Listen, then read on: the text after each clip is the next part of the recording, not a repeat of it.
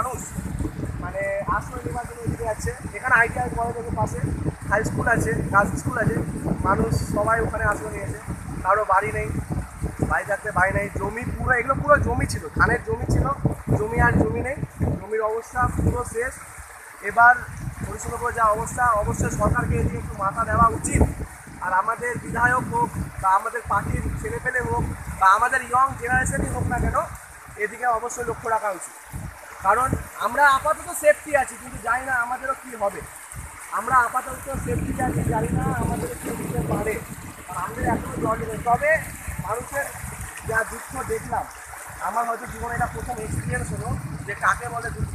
লোকের মুখে শুনেছি, টিভিতে দেখেছি, খবরে পড়েছি যে হ্যাঁ বন্যা বলে একে, মানুষ ভরছে না কিন্তু চোখের সামনে দেখা বন্যা, আমার জীবনের একটা স্মরণীয় ঘটনা হয়ে থাকে। সেই জন্য সবাইকে রিকোয়েস্ট করব যে আপনারা সহযোগিতার হাত বাড়ান হরিশ্চন্দ্রপুর বাসিন্দাদেরকে।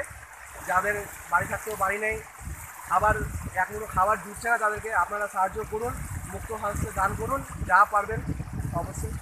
ধন্যবাদ।